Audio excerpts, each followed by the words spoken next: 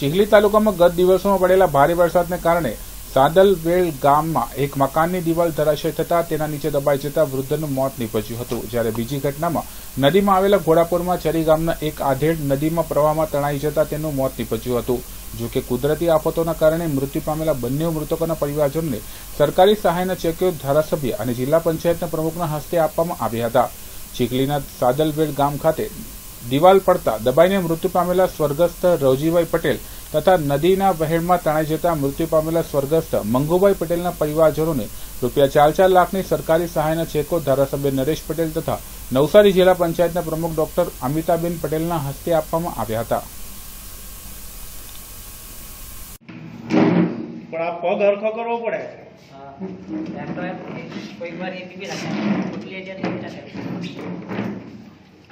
બાંધેલું છે ચાલ જરાક કાકી આમ જરાક લીધા થાવ. આ આ દોસ્તો જરાક એ તમારી જા બાજુ માથું ઉચકો